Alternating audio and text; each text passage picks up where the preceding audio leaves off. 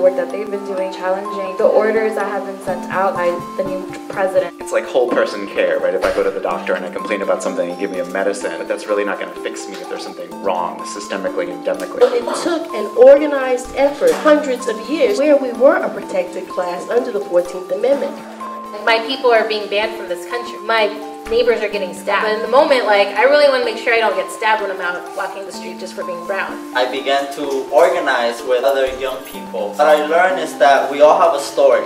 It wasn't going to be me that was going to change anything, but the organizing was allowing me to work with people to recognize their own power. So civil liberties and the fights for civil liberties and the fights for civil rights are revealing something to us. I've seen that it's really important to be able to speak up and say that something is wrong. Even when it may appear the president is against you, the legislature is against you, the Supreme Court, it doesn't matter that they're against you.